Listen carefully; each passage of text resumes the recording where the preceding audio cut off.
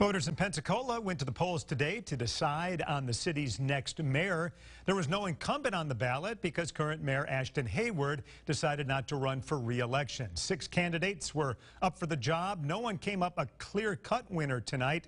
The top two candidates advanced to a runoff in November. They are County Commissioner Grover Robinson and City Councilman Brian Spencer. News 5's Brian Clerkley joins us live in downtown Pensacola with more on this race. Brian?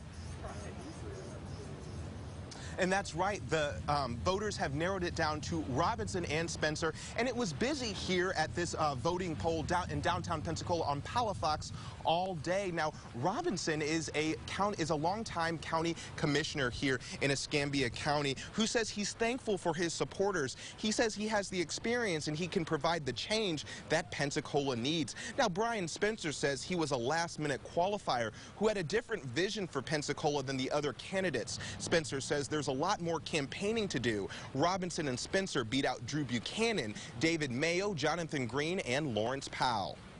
We told everybody in there it's it's not over. We've got 10 more weeks, so we're gonna everybody's gonna be leaving their signs up. We're gonna be up for 10 more weeks. I believe that tonight's results show that there are supporters that will immediately jump on board, and I will get my message out. I'll consistently maintain my promise to continue the momentum. Now, officials say they had a larger turnout today in 2018 than they did four years ago for the elections in 2014. Live in downtown Pensacola, I'm Brian Clerkley, WKRG News 5.